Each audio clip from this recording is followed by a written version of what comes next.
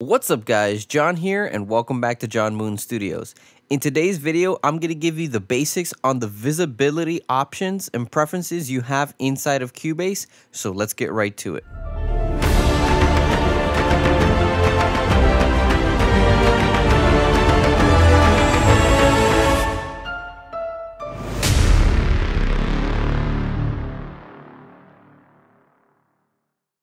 So for this video, I decided to use my film scoring template, which has over 800 tracks. And if you're wondering how I have 800 tracks inside of my Cubase session, I'm going to make a video in the future showing you my custom PC that allows me to host all of these sample libraries and essentially have over 800 tracks of sample libraries in this session. So the reason why I chose this is so you can see how the visibility section or preferences inside of Cubase works and how you can use it to your advantage to hide tracks so that you only see tracks that you're working with and your project window isn't cluttered with things that you're not using at the moment. So the first thing you need to do is you need to open up the left tab. So it's up here on the top right corner. You're going to hit that and it opens up this left tab and then you're going to see two tabs within this little section here called inspector and visibility. We're going to go to the visibility section and here you can see all of the tracks that you have active that's shown with a check mark next to their names as well as any color coding that you have on the right side here. So I'm going to go ahead and scroll right back up and I'm going to show you how you can just quickly disable tracks that you don't want to see. So I've disabled my wind instruments. I'm going to disable my brass instruments and I'm going to disable my percussion instruments. So let's say I'm just working with everything but percussion, brass, woodwinds. Here I have now only the instruments that I do want to see. Again, super easy to just kind of click off the ones that you don't want to see and click the ones that you do want to see. Again, making sure that the ones that you do want to see have the check mark and the ones that don't, don't have the check mark. So let's say you've disabled all of these and as you can see, I had to do some scrolling to get to the next section. If I want them to reappear once again, you're going to go up here to where it says configuration. So you're going to see this little house looking like object, a pentagon, and then this other object right next to it. And this is what's going to help you enable all those tracks again without having to go clicking one by one.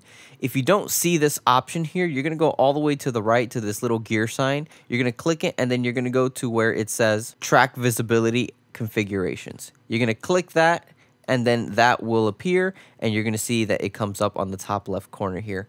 If you hit this little house here, you could just hit show all tracks and now you've enabled all the tracks that you've hidden. So for example, I had this input output channel track disabled, so I'm just going to go ahead and disable it again, but it's much easier to just turn all of them on and then just disable that one track instead of going one by one. You can also do things here if you open up this options is show only selected tracks. So for example, if I highlight the piccolos and the flutes, and I go here and I do show only selected tracks, it's going to only show me those tracks inside of Cubase.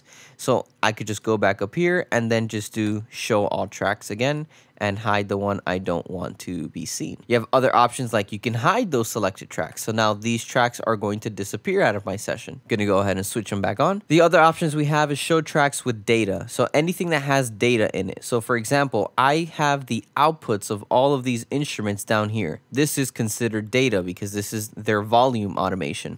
So if I just go here and deselect winds, and I'm going to do show tracks with data, it's only going to show me all of my outputs because again, it's showing you volume data here. If I have instruments, so if I put select all, so if I have regions in these instruments as well, this is considered tracks with data. So if I go up here and I do tracks with data, it's going to show me my outputs and the two tracks that I have with regions in it. In other words, data. It has information. It has some kind of information telling this instrument to do something. So I'm going to go ahead and click show all again. You have the option to do show tracks with data at the cursor location. So your cursor location is not your mouse, it's the actual cursor inside of Cubase. So if I lay it right here, right after the region of the piccolo, it's not going to pick it up if I do the show track at cursor position. But if I move it back to measure 3, now we have some activity in those tracks and when I hit it, it's going to appear again. You can also do things between locators, which is your cycle markers. So if I move this cycle marker out here, anything within the region of the cycle markers will be shown when I hit show tracks with data between locators. And then you have show tracks with selected events. So if you want to see particular instruments, so let's say you go on a hunt. So I'm going to go ahead and click show all tracks. And then let's say I have a region in my bassoons, in my clarinet, and my brass, and then something in the percussion section. If I click, I'm holding shift as I'm clicking this now, click here, and then I'm going to click this one, this one, this one, and this one. And I do show tracks with selected events. It's going to show me the tracks with selected events here.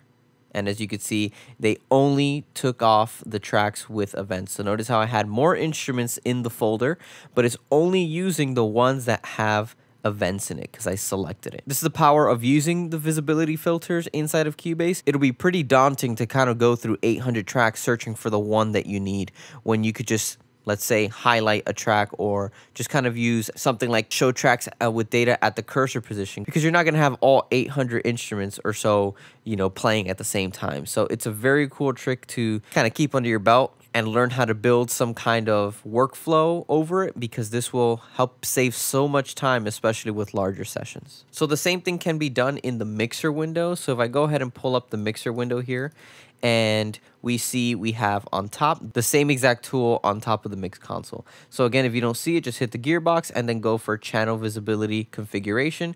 And the same thing applies here. So show channels with data, cursor position locator, things like that. But in the mixer, even though the project window has it too, which is this other little box here, this one has it here and it's useful to use in the mixer, I believe, because now here you can actually filter out your channels by the types of channels.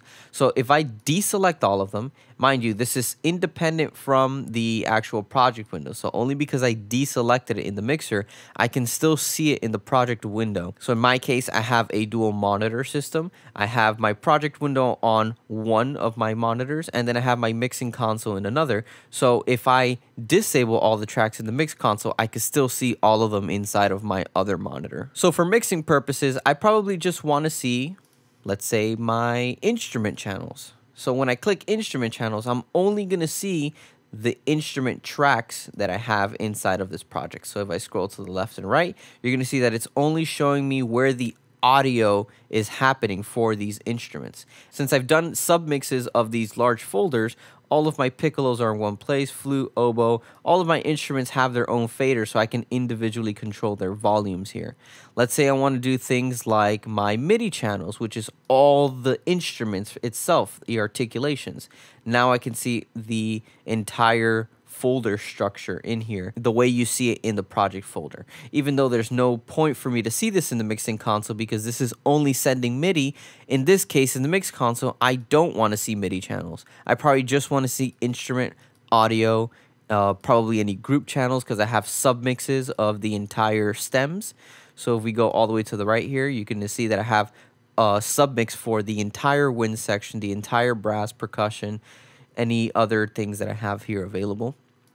And then let's say you have any effects channels like reverb and stuff and VCAs. And of course my output. This is probably all I want to see when I'm doing my mixing. I don't want to see all the MIDI tracks because that's not going to help me. I can't do any processing on those MIDI tracks because it's only sending MIDI information. So that's pretty much it for the visibility settings inside of Cubase. If you have any questions throughout the video, just go ahead and drop your comments down below and I'll get to them as soon as possible. If you like this video, hit the thumbs up, subscribe. Don't forget to hit the ring button so you don't miss any of my weekly videos. Also, don't forget to check out the Johnmunstudios store. I have a variety of merch with the official Johnmunstudios logo on it, so go ahead and check it out. Also down below in the description, I'm going to leave a link to my Patreon. For just a dollar a month, you can help support the channel and all of your donations are greatly appreciated. As always, don't forget to share with your musician friends. I'll see you guys soon.